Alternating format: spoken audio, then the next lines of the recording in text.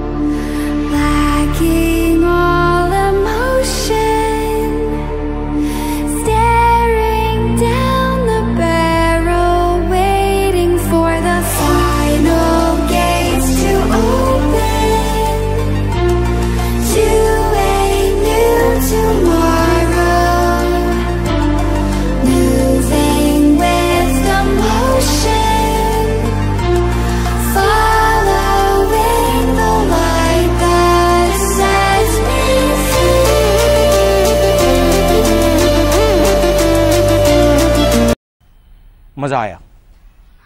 और मैं ये जो मज़ा है, हिंदुस्तान के हर व्यक्ति को देना चाहता हूँ।